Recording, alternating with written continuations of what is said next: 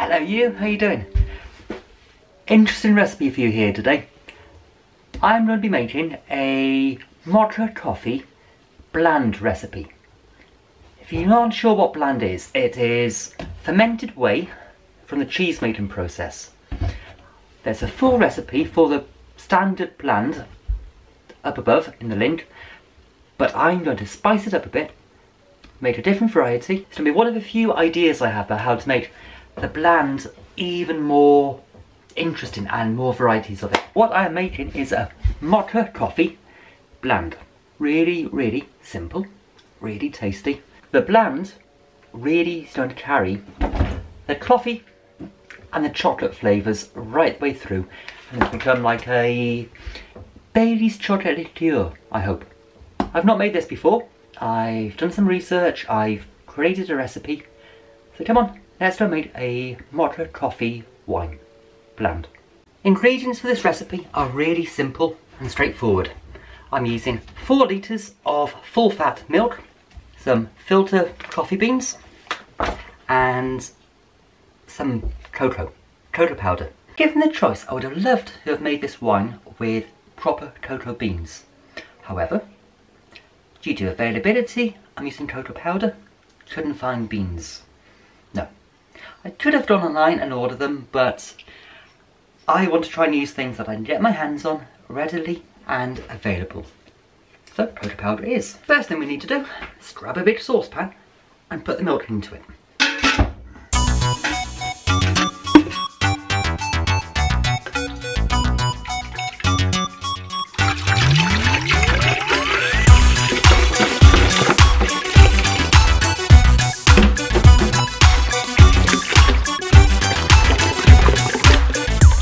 Of the awesome, fantastic perks about making this wine is you also end up with about two pounds worth of cheese. Brilliant cheese, tasty cheese. There's a full recipe to the cheese up above. So once you've made this wine, preserve the curds. Make cheese from them. Cheese and wine, double the bonus. You want your milk to be just below the boiling point. If you have a thermometer, use it or just keep an eye on it and as soon as you see those little bubbles coming through the milk, that's hot enough. So turn it on and let it come up to near boiling. Now blaand is an ancient drink that used to be made by Vikings which was brought over to Orkney and was a great use of the leftover whey from cheese making in the cottage cheese making industry up here. Not many people make blaand, although recently since I first made my YouTube video about Blaand, people have been making it and liking it. So I want your feedback. If you've tried the Blaand, if you've tried this Mocha Coffee Blaand, tell me. I love hearing how an old recipe has been brought back to life and revigorated. Wales are playing in the rugby today against Ireland. So I really, really want to watch that match. So I'm trying to get this done quickly as I can. It's a simple recipe. Throw it all in and then I can go and watch the rugby with a few beers. And Wales should win the Grand Slam. Come on Wales! Whilst your milk is coming to the near boil, you can start preparing your other things you're going to add to the whey. Coffee and cocoa powder, that's what I'm adding. I want to cold brew the coffee because cold brewing it prevents any bitterness coming out of the coffee and makes it tastier and better for the wine. With the cocoa powder, I'm going to make about three cups of hot chocolate cocoa with about a tablespoon per mug. You don't want to use too much cocoa because it is a right nightmare to clear. You'll find that this might be quite slow and tricky to clear, so give it time. Don't rush this recipe. It will take time to clear. Or it may not, I don't know. That's just my personal experience of using cocoa in other recipes. It will be slow. But then why rush through things? Anyway, let's prepare it.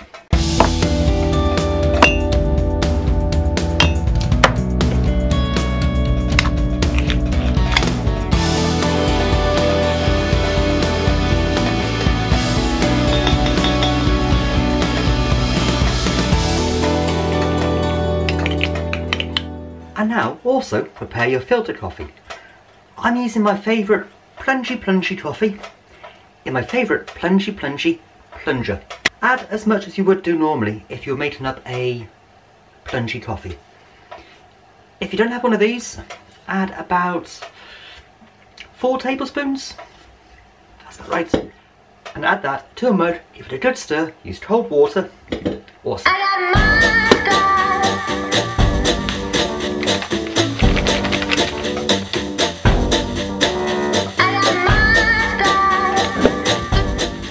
Cold water to it. You're not going to drink this as a coffee. It's for your wine, so make it cold.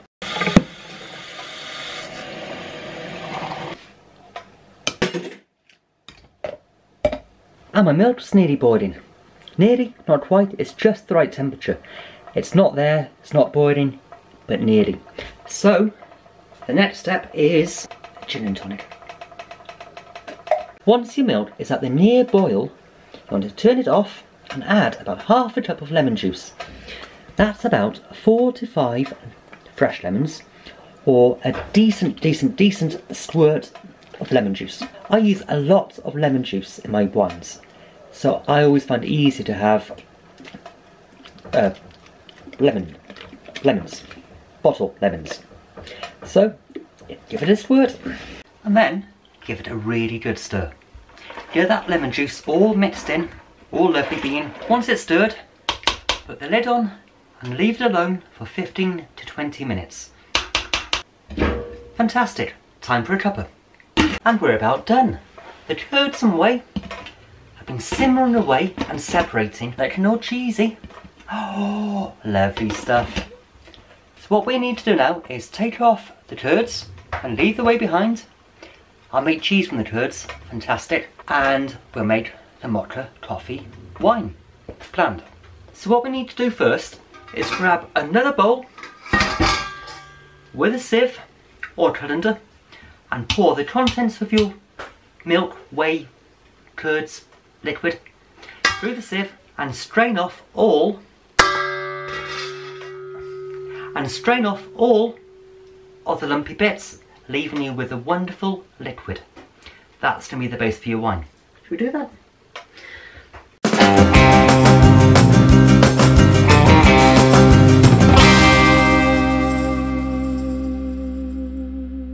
And what you're left with is a brilliant bowl of cheesy curds which we'll make cheese from. The link to the video is up above. Ah, that's hot, hot, hot. It's hot. And also a big, big bowl of the whey for your blaand, for your coffee wine. And into your hot liquid, you want to add a kilo and a half of granulated sugar. Just pour it in, stir it, dissolve it, and then simply pour in your plunger coffee. If you use a plunger, plunge it down, it will take out a load of the, of the coffee grains for you. It'll be easier to clear in the long term. So plunge it and add. And also throw in your three cups of cocoa. A bit lumpy,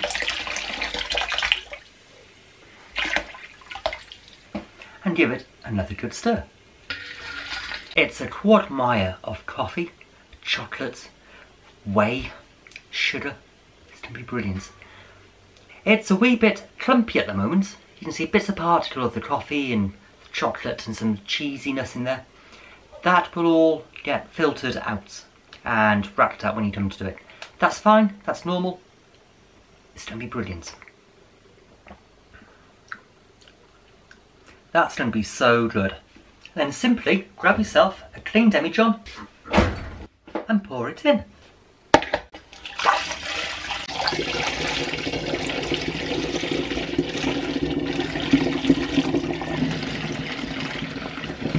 And there we have it. It's looking awesome. It makes up the full garden, tasting divine.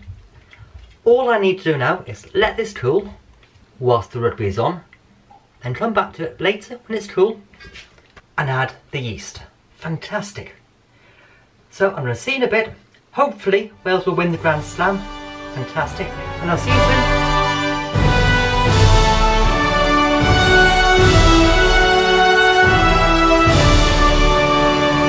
The moderate coffee, blaand, wine, blaand, has cooled down to room temperature and I've divided that one demijohn into two so that when I put the yeast in and it goes mental fermenting it all, there'll be enough headspace that it doesn't go everywhere and make a mess on the floor.